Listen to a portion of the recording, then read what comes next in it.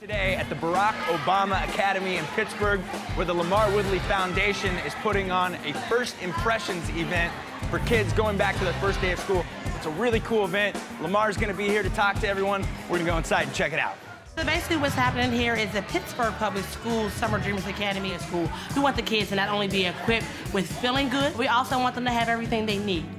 Being prepared for school you know, looking nice for school, having a nice haircut or, or nails done. So now when they're at school with everybody else, they feel comfortable because now they're like, I got my nails done, I have, I have a haircut, and having the proper things for school, a book bag and school supplies. So when the teacher say, hey, pull out your pencil and paper, I have pencil and paper, so I have to raise my hand saying, I don't have one.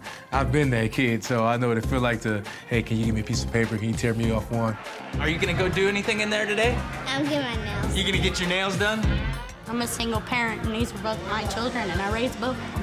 And when he, people do stuff like that for me, it, it, just shows me that there's willpower and hope out there. Mm -hmm. All we need is the adults to step up a little bit more to be the role models that we want our children to be. Thanks, LaMarr Woodley, for the amazing things you do on the field and off the field. Yeah, when I'm on the basketball court, uh, I feel free I can scream if I want to. I'm myself. His foundation, Noah's Arc, is teaching kids how self-expression can lead to success. When I first heard Noah's Arc, I thought they were talking about like Noah's Ark. What is Noah's Arc Foundation? Express themselves. Express themselves through basketball and art. To these kids to take part in this in this event. You know, the words and the voice and the actions Joakim shows to them are really powerful, positive for yourself and for your community. We want to give kids healthy, safe, constructive outlets. Art and basketball are completely different, but I think that what we're doing, there's a lot of similarities. I believe that everybody's an artist.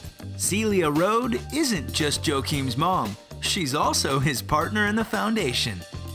Well, I would say that both my kids were brought up in an art studio, I'm a sculptor, and with a professional athlete father. So this is really something that my kids have grown. Get these kids from the Queens area and stuff, they come in here, and you're talking to them about inner expression and express themselves through art.